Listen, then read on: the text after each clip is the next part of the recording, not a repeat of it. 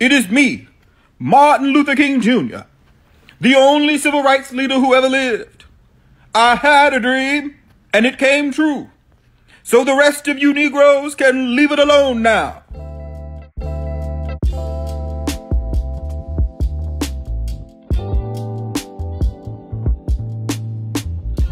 This video is brought to you by the members of my Patreon. Click the link in the description if you want to join. You can also go to letsflawnt.com if you want to get some merch to support the channel that way.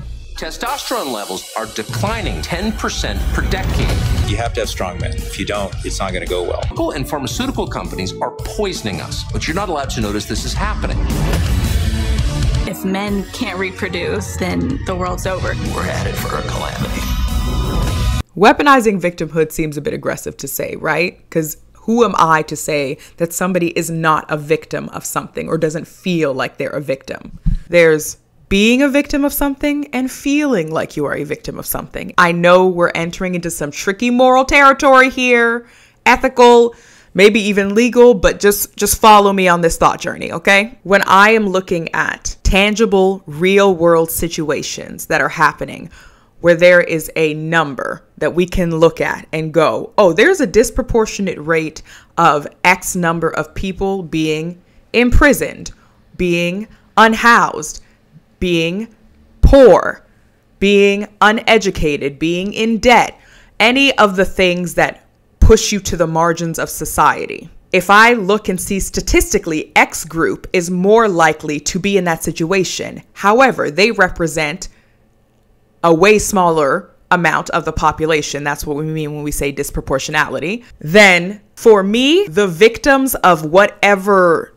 topic, system, thing we're talking about are those people, are the people that can be identified in that X group. And I know that seems very analytical kind of cold, but as hippy dippy, lovey dovey, let's all get along as I am, I also try to be very practical. And sometimes you just have to look at literal numbers history, numbers, context.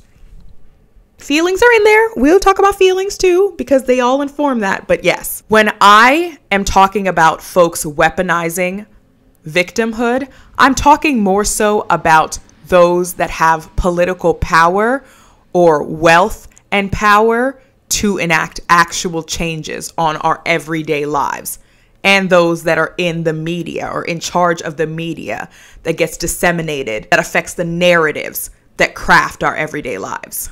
If you're not somebody that falls for it and everybody else is sheeple to you, then this video isn't for you. Go with God. Okay? Okay. I would argue that in the 2010s, at least what I observed in my lifetime, was that we became more compassionate to victim stories. And I think the Me Too movement was a big factor in that. You have people that say, believe victims now, and it's a full sentence. Period. That's it. We not only started having more compassion for victims, we started centering victims. And I think that's a really important distinction because when folks started to speak out more throughout the 2010s about police brutality and 2020 kind of was the explosion of all of that. You had more groups creating movements that were specific to the way their group, their identity is marginalized and victimized under this system. And system is the invisible all around us. It's the thing you can't quite point at, but it's reflected in our policies. It's reflected in all these industrial complexes everybody likes to throw around. That's the system, the way things work and move in our society. And so, after Black Lives Matter, you see things like Stop Asian Hate and more awareness around Asian and Indigenous peoples' struggles. And this is something you saw during the Civil Rights Movement black folks started being like, enough of this shit. And other groups as well felt empowered to speak out too. And I'm not saying black folks started fighting for your rights, okay? Girl. But unfortunately, you know, every single time marginalized folks are having a good time, here come the elite trying to ruin it.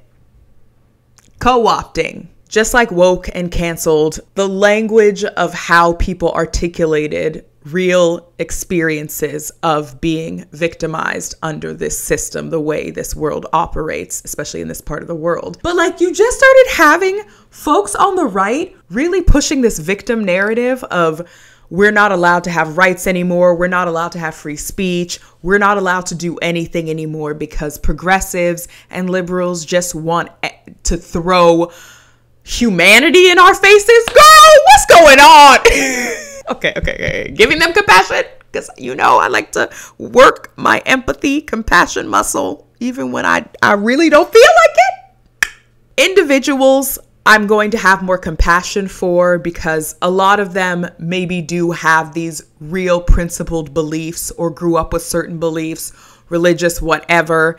And so I'm going to meet them with more grace. But these media folks, these politicians that are actually gaining clout and power and still acting like they're the victims of something when they're the ones who actually are able to control and craft narratives is real nefarious. It's not cute. It's unbecoming. Stop it. Like they don't listen to me. A recent example that I used in a video was Tucker Carlson's The End of Men, you know, men are becoming soy boys, soft boys. It's it's terrible. And it's because people on the left just want them to be all in their fifis and not be men. What the heck is going on? We are victims. Anytime you try to be a man, somebody's trying to shut you down. Girl, what? See, the problem with this is that folks like that, that are in these positions of power, that have huge audiences and can craft large narratives. I know I fall in the middle somewhere. I know, I know, I don't know, because I'd be like, I have an audience, but I'm not like out here, but I'm out here. But like, anyway, they use this victimization to avoid accountability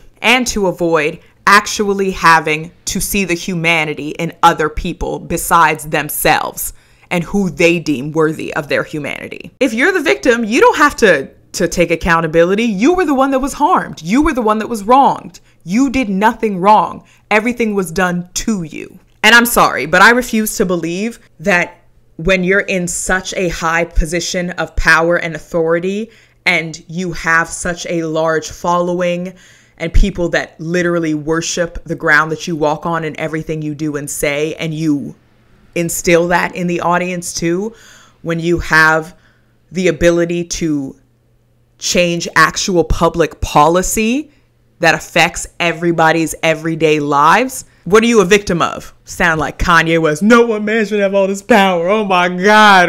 This is terrible. I have so much. And these little peons are trying to tell me how to dish it out. You little bitches want rights? Shut the fuck up. Stop it. The fact that you're even making me aware of how disenfranchised you are is actually really not good for my mental health and it's actually really damaging and selfish and I wish you poor bitches would stop. That's how y'all sound, some of y'all. I'm saying y'all, they're not gonna see this, but you. Eh, what about those of us that don't have that much power? Amy, I gotta talk to you, girl. Amy, we gotta talk. So, a lot of us are keeping our eyes on what's going on with Israel and Palestine right now. And a lot of celebrities and public figures are weighing in, all the things, right? Amy Schumer has been talking a lot. For those of you that don't know, Amy Schumer is an American actress and comedian, and she is also Jewish. So, she has a personal emotional stake in this, and you can tell by the things that she's been posting. Now, the way Amy Schumer is moving has people on a varying spectrum of emotions. There's the folks that fully support her and are on her side and like, yes. And then there are the folks that are like, shut, shut the fuck up. Shut the fuck up. Shut, shut. You know, but what does she do? On October 7th, when Hamas went into Israel and attacked all those civilians, she posted one of the videos or a few videos, and one of the captions was Jews are the only people not allowed to defend themselves. Then she posted this political cartoon. And for those of you that can't see the text on screen, it's a bunch of protesters. Looks like most of them are white, though some are black and brown. And they're holding up signs like Gazans grape Jewish girls only in self defense. Beheading is resistance with this little girl smiling. Killing kids for dignity uh, proud of our grapist martyrs, stab Jews for Allah. I didn't see that one. That is wild. Wow, Amy. okay. Somebody in the back just has a shirt that says "I love Hamas." Uh, murdering 1,300 Jews isn't anti-Semitic. You know, just a lot of of really vile things, and that did not sit well with a lot of people. And if you don't understand why, let me break it down. When you post something like that, you're conflating not only Palestinians with Hamas, but all Muslims with Hamas. So, an actress named Asia Jackson tweeted that it's wild that Amy Schumer could say something like that when Bella and Gigi Hadid had to be so like tiptoey around their statements to make sure they don't lose their jobs and all that sort of stuff. And Amy Schumer slid into her DMs and was all like, What's up? She was all like, Did my post about my people being massacred upset you? And Asia was like, Yeah, the Islamophobia. Words were exchanged. Amy Schumer was talking about how unsafe she was feeling, how this girl has no idea what this feels like because she gets death threats. Amy Schumer gets death threats, people threatening her son, doxing her, showing, taking pictures of her house. And Asia is black and Asian, and her mom is Asian. And she straight up was like, the audacity of you to tell me that I don't know what it feels like to feel unsafe, you know, it just was really not a good look, truly. Um, but we're not done. And at some point, Amy Schumer posted a video of MLK speaking out against anti Semitism because, yes, of course. MLK's daughter had to tweet her and be like, Miss Girl, lovingly, okay, uh, yeah, my dad was against anti Semitism because you can't be for civil rights and be for that. However, he was also against militarism. I don't think a nonviolent civil rights advocate that is against anti Semitism would be for the indiscriminate bombing of a civilian population. I just don't personally think that's the case. But a lot of y'all, this is how y'all y'all think. This is how y'all be. Roll the clip. This is my impersonation of the Martin Luther King that you all quote "We want black people to shut up. It is me, Martin Luther King Jr., the only civil rights leader who ever lived. I had a dream, and it came true. So the rest of you Negroes can leave it alone now. Why are you protesting in the street? I would have never inconvenienced those nice white people like that. They're just trying to get to work. It is actually against the law for any black person to say something that contradicts anything that I said. So if you hear it, Tell them I'm disappointed in them and that it is illegal to say that. Everybody loves me now, just like everybody loved me back then. It's why I died of natural causes at the age of 98. I only gave one speech. Don't Google it. I'm sure the person who is quoting me to you would have supported me back then as well.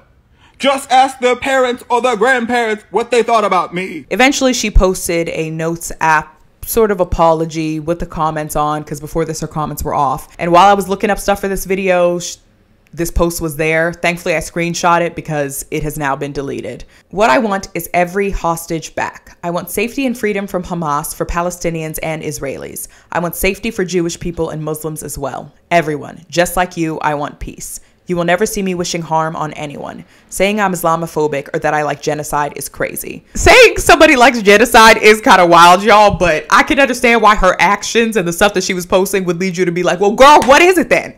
I understand. It's just, it, it's also wild. What? Okay. But here's where I want to talk about individuals and this centering of certain victims over others and whatnot, right? Because at the end of the day, we all have biases, we all have our lived experiences culture, society, whatever, that's going to impact who we feel for versus who we don't. Who we view as in our universe of obligation, that term coined by Helen Fein to refer to those that we believe deserve not just rights and privileges or whatever, but to whose grievances deserve amends. Who do we owe what to? To the people that we owe something to. Those are in our universe of obligation versus the rest of you bitches. And that philosophical idea of empathy as a spotlight. It shines the brightest for you and yours closest around you. Those most similar to you, maybe even, and then it gets dimmer the further out you go. Yes, our awareness of victims has become more compassionate. We've centered them more. We have become more aware of the ways that different people can be victimized and the intersections of that by this system. And yet, some of us care about collective group activism to combat those things. So, real liberation means liberation for all, means caring about all, means doing this work together, solidarity, right? And then there's the individualistic group activism. And that's the thing that I think a lot of folks, particularly those of us socialized in, in Western societies, tend to latch onto and mistake it for solidarity. And this is what I think I'm noticing with Amy Schumer and other folks like her, folks that have even sent me DMs, not like yelling at me or anything like that of the sort, but just being like almost getting the vibe that they're trying to be like, hey, care about us too. Care about us too. And multiple things can be true and happening at the same time. And that who we center when it comes to narratives about and actual situations of victimization, whether it's the system or war or any of that, can teach us a lot about where our cracks are. When we center the most marginalized, the most disenfranchised, the most disproportionately disenfranchised, and we go, What do you need? I personally believe that it can teach us a lot about how we can be better for all of us by looking at the most disenfranchised, right? A quick little example that I think of need to thank disability activists more for the work that they did in the Disability Rights Act. Something as simple as ramps. Yes, somebody that's physically disabled might need a ramp, but ramps are also helpful for plenty of other people. If you are elderly, if you've had a procedure recently, little kids, like there are so many different, if you have a stroller, there are so many different benefits that the rest of us get to have simply because activists that were the most ignored because we be ignoring disability activists. We really do. I have blind spots in my disability. Is that is that ableist? See, I just said blind spots. Is that ableist? I have gaps in my knowledge as well. So I'm not saying this as a judgment, but I'm just saying the most ignored can be the canaries in the coal mine for the way our society can function better and actually allow the folks that everyone says that they seem to care about equally to actually have more equality. And so when folks like Amy Schumer, the folks that are DMing me will send me the messages to say the Amy Schumer hasn't messaged me, but just like act in this way of like the care about us, center us. Anti Semitism is on the rise. I understand the real place that you're coming from as individuals, not like random politicians and stuff weaponizing your victimhood to gain more power, but individuals who have a stake in this. And I want you to stop and go, why do I need my personal identity, my individual identity to be the center of this when everybody else is focusing on war crimes and human rights violations? It's not to say that they don't care about what started this event, at least in the month of October, or at least that's from my perspective. I'm well aware of the history of anti Semitism, not just because of the Holocaust, but before that. That's also something that I had to learn when I decided to take a couple years and learn about Israel and Palestine. Colonialism will divide and rule the livelong day and have marginalized people infighting with each other over who is more marginalized, fighting with each other over who should be centered more. When if I just look at the numbers, the definition of war crimes, what the Human Rights Watch has to say about what's been going on with Israel and Palestine, I have to call for a ceasefire. I have to go. So Netanyahu just just really said fuck fuck human lives, truly, unless they are Jewish and Israeli. That, how is that not wild to y'all? How do you hear over 4,000 children dead and you're still like, but nobody's paying enough attention to my thing? If you care about actual solidarity and not just solidarity, if you care about people showing up for you when it matters, you have to show up for them too. And if we're all doing this game of, well, I'm not going to show up if you don't show up, so whatever, then who the fuck is going to show up? Sorry, that that got a little that got a little mean. That got a little listen. It's time to talk about solidarity because y'all, the reason that I get so upset about not just folks like Amy Schumer behaving in the way that she is or people slide into my DMs trying to what it seems like to me convince me that Jewish lives matter is that I'm like, girl, I I believe Jewish lives matter. What? what where is the disconnect? What is happening here? And the thing that I keep coming back to, so grain of salt, this is just my opinion, my observations, my thoughts. There could be plenty of other factors at play here. But what I keep coming back to is that we have adopted this individualistic group activism where we just care about our group, our specific people, because we're so used to others not showing up in solidarity or not expecting others to, except for maybe a few people from different groups. And so, because of that, if what's happening to the way, to the real way that folks that fall in our identity group are being victimized, isn't being centered enough, yeah, isn't being centered and the priority narrative, we feel like nobody cares and nobody will ever care. When I think what's happening right now is people are trying to practice more of a global solidarity. And that means showing up for the people of Palestine, first and foremost, not ignoring that there are 1,400 people that were killed and there are still hundreds of hostages. But literal human rights, y'all, I don't understand how. Like, I, I genuinely don't understand how me saying that is a controversial statement. Like, people have asked me, Oh, are you getting worried about job opportunities and blah, blah, blah? And I'm like, I no, because I know what I stand for. And I know what I think is right and wrong. And I also know that I just look at research and numbers. And if that many people are being killed, if the number is steadily going up for one group, y'all, if they don't give a fuck about those lives, why do you think they're to care about yours more? Because you're in the same group as them? This is the part that isn't cute. And this is where I give a little less compassion is that some of y'all, I think, have had the privilege of having your narrative centered a lot. And so now that it's not, you don't know how to be in solidarity with others because people have always had to show up for you, but you don't show up for other people. And examples that I'm specifically thinking of, because I don't want people putting words in my mouth or thoughts in my brain, the way we show up as queer folks for black causes. Not all queer people do it, but a lot of us do.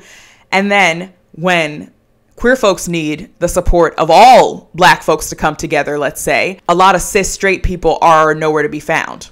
Or even other queer people when trans folks are fighting up for their rights. You know what I mean? It's like we're supposed to be in this together. We're all marginalized in this together.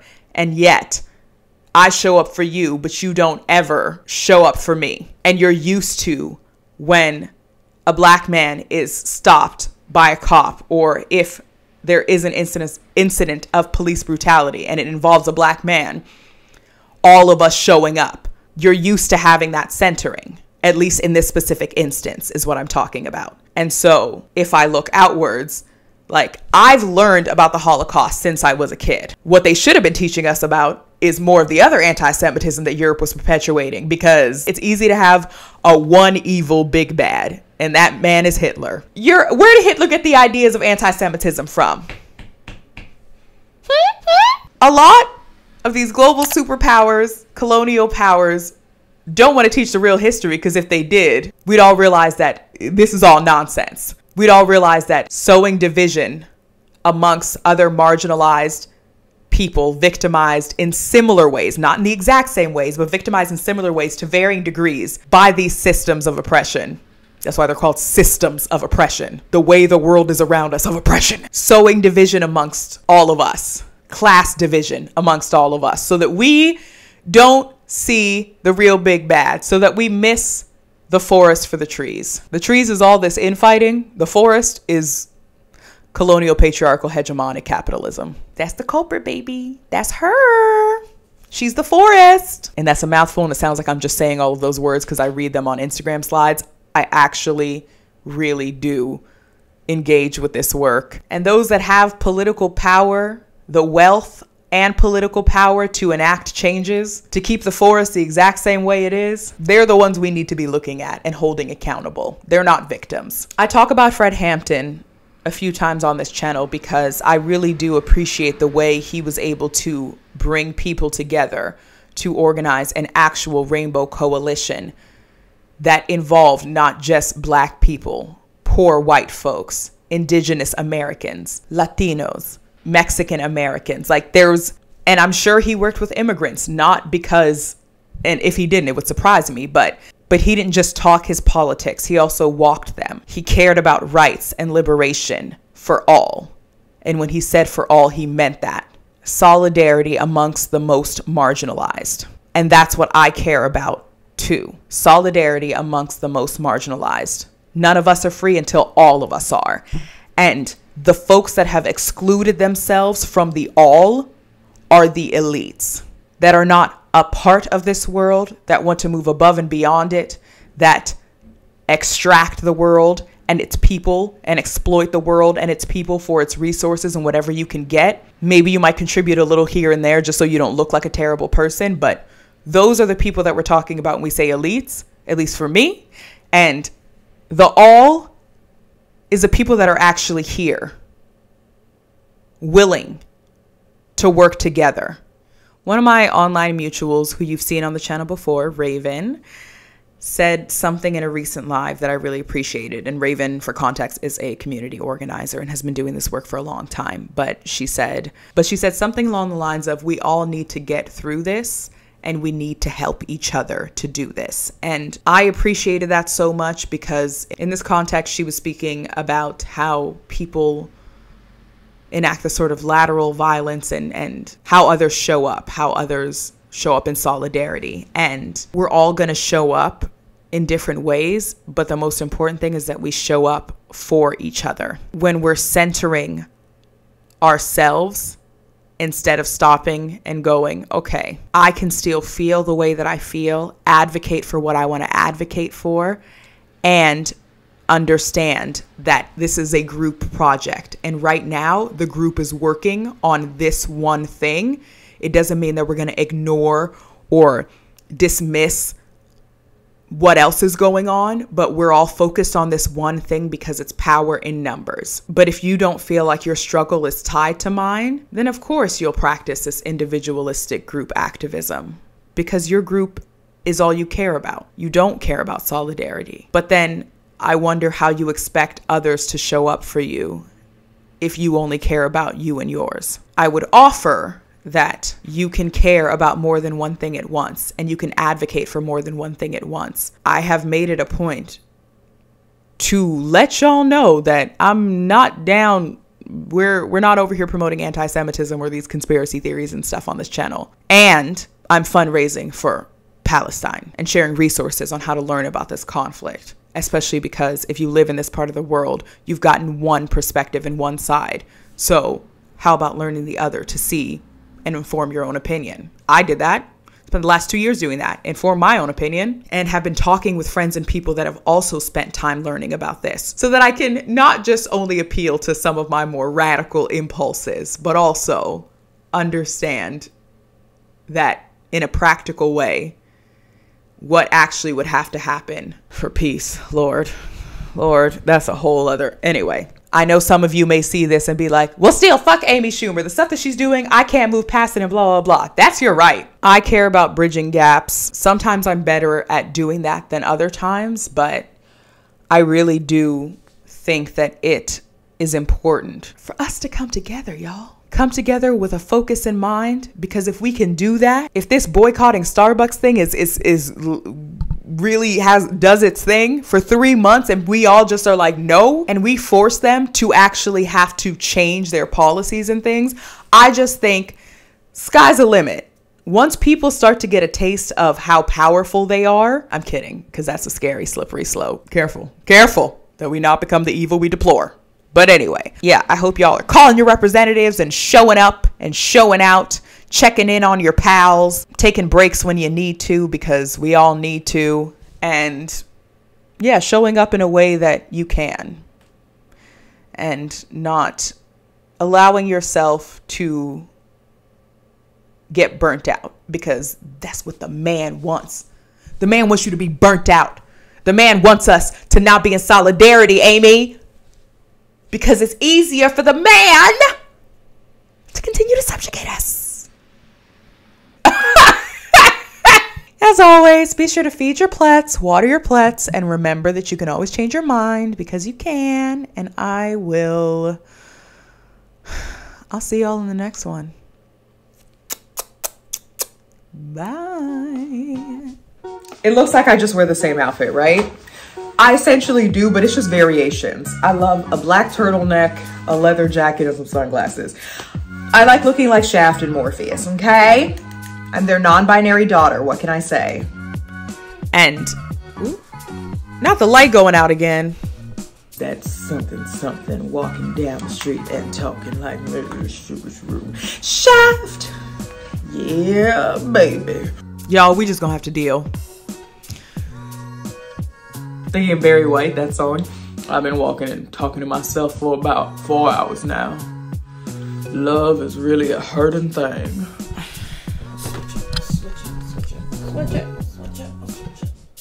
Let the music play. I just wanna dance the night away. Yeah, right here, right here is where I'm gonna stay. All night long. Ooh, ooh, ooh, ooh, ooh, ooh, let the music play. Lydia, I'm so annoying. I'm always like, Lydia. She's like, girl, leave me alone. Maybe, maybe, surprise. This mic isn't on. It's not, it's not on. You're obsessed, leave me alone. There's a lot of cat hair on it. But I'm obsessed with her. I just want to hang out with you. We try to grab her. Lydia. Lydia.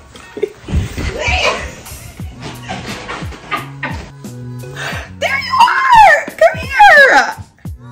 Lydia, come here. Come here. Girl, this way. Here, I'm gonna place you over here. Well, I'm gonna pet you first. So Lydia, you just said fuck me, huh? I wanted you to come sit up here, Lydia. I saved you a spot.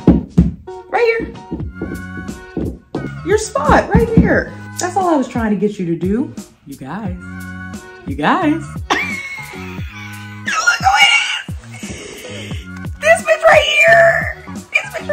Said hi. Hi. You wanna come hang out, Tony boy? A hoe. Face down, ass up. Look at her. Girl. That's my baby.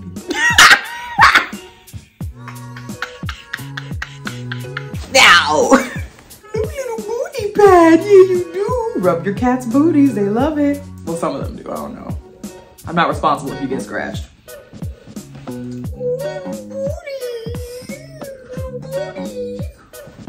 I need to get this kind of flexibility in my back. You know what I'm saying?